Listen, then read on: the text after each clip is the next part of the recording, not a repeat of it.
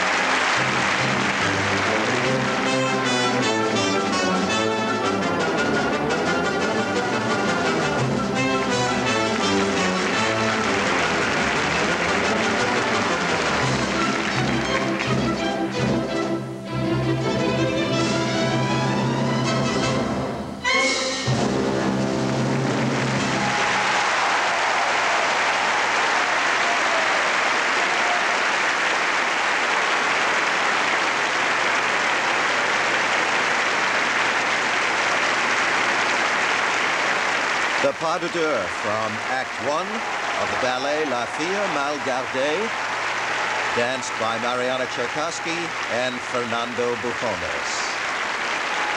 Principal dancers of American Ballet Theater.